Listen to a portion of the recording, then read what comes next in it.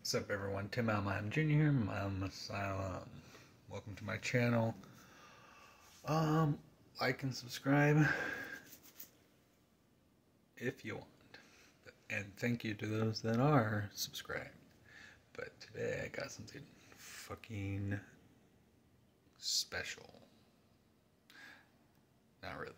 But I went to McMenamin, ugh, McMenamin's over in Clackamas, next to the town center in, up near Portland. I guess technically it is Portland, but I best experience ever. If you haven't been to a McMenamin's, um, the atmosphere is great, but this one in particular, I mean, it's pretty much next to the fucking Clackamas Town Center, and. Mm, it's a 10 out of 10. Well, when I went there, it was. I had a blackberry cider, and then I had a, I want to say it's a mango ginger, and both were amazing. But I bought a four pack from them, and I want to say they were like three forty nine each So almost $16 I spent on them.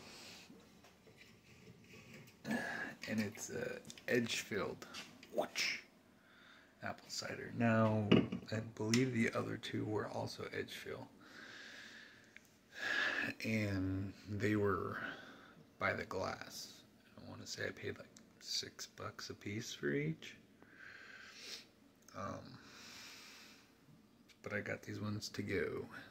So, um, but I do highly recommend checking out McMenamin's. I had a uh, mushroom Swiss. Oh my god, it's the best mushroom burger I ever fucking had. So definitely, definitely check them out. Um, well, let's get into this, see what this tastes like.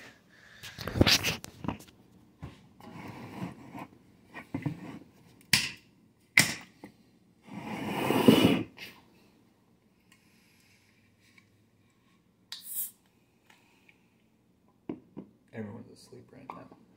I heard an alarm go off, so I think someone's waking up.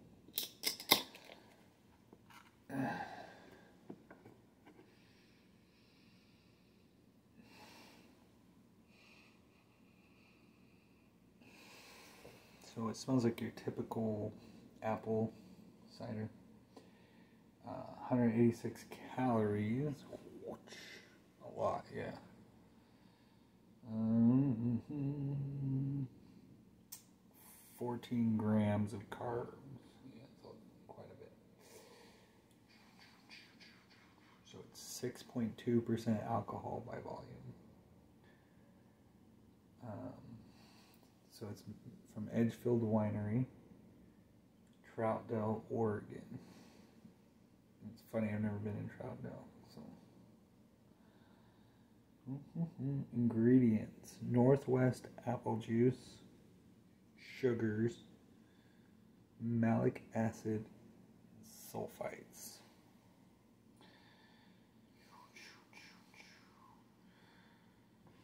So this is uh, aromas of fresh apple and pie spices. Float over fresh apple flavors dominated by hints pear and honey, bright on the tongue. This classic cider is crisp and refreshing with its sweetness balanced by lively acidity. McMenamin's has been crafting cider to serve in our pub since 1992 offering clean, crisp flavors that highlight the bounty of the Pacific Northwest. Yeah. So this is one pint. It's gluten free. It's got cool little demons on it. Yeah. Um, a sticker. It's a Portland thing, I'm guessing, because almost every Portland thing I've tasted has a sticker with just an aluminum can. So let's get into it.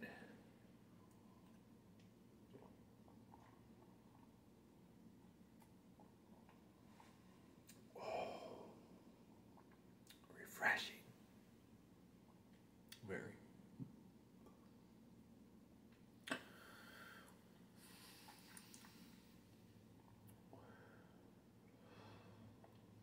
Actually really good. And the fact that it's 6.2 makes it even better. Yeah.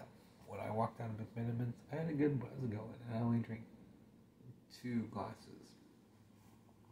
So, um, highly recommend that you try it. This beverage is delicious. I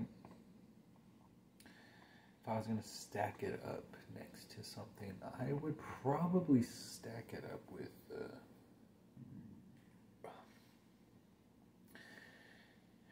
like an Angry Orchard, just because it it holds its own all the way through.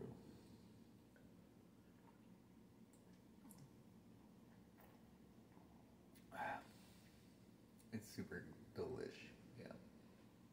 You guys got to check it out. Um, I'm not sure if they sell this anywhere else. Um, I, I've yet to see it in any stores. Um, in any of the stores I went in in Clackamas. That's not saying that they don't sell them in there, but I got this specifically from McMenamins, and I'm guessing that this is a McMenamins company. It's producing canned by McMenamins Inc. Edgefield Winery. So, yeah, so it's it's it's uh, it's exclusive. So definitely go pick them up.